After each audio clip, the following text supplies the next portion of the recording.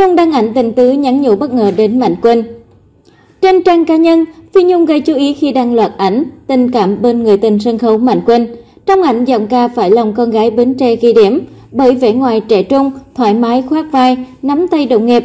Cả hai cũng có những khoảnh khắc nhắn nhít, khiến người xem thích thú. Kèm theo đó, Phi Nhung nhắn nhủ đến đồng nghiệp, tụi mình mãi bên nhau bạn nhé. Bài viết nhanh chóng nhận được sự quan tâm của cộng đồng mạng với hơn 7.000 lượt thích và hàng trăm lượt bình luận. Nhiều người bày tỏ sự ngưỡng mộ trước sự trẻ trung cũng như tình bạn thân thiết của hai nghệ sĩ. Dân Thanh Vàng chia sẻ: "Trời ơi chấn động, nhìn bộ hình này mà em tức quá, sao em trẻ không lại chị vậy?" Hồ Việt Trung trêu chọc: "Giống chụp hình đám cưới quá." Người xem khác cho hay: "Một thời tuổi thơ của con đó cô ơi."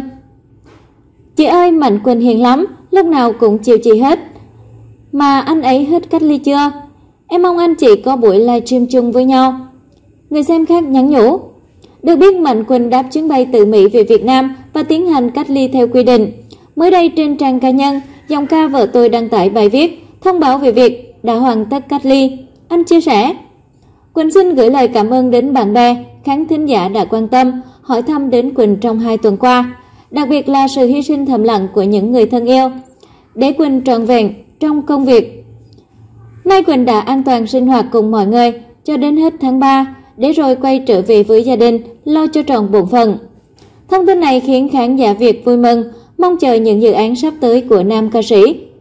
Mạnh Quỳnh là ca sĩ được khán giả yêu mến bởi chất giọng tình cảm như vợ tôi, tình nghèo có nhau, người phu kéo mồ cao.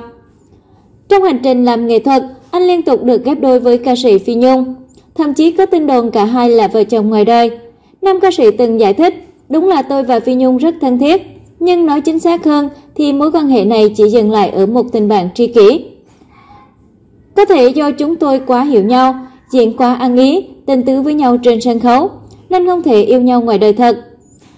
Bởi nếu thực sự nảy sinh tình cảm, chắc chắn chúng tôi sẽ ngừng ngùng, mất tự nhiên khi làm những hành động nắm tay ôm hôn trước khán giả.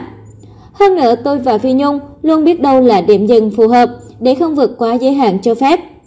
Trong khi đó Phi Nhung từng tâm sự về đồng nghiệp, hồi đó Mạnh Quỳnh tự cao lắm nên tôi rất ghét. Những hình ảnh chụp chung là tôi bắt đi chụp đó.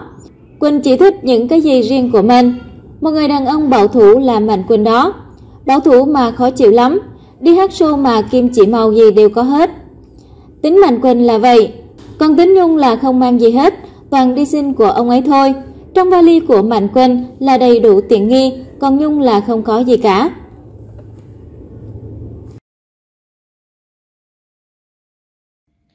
Bản tin của chúng tôi đến đây đã kết thúc.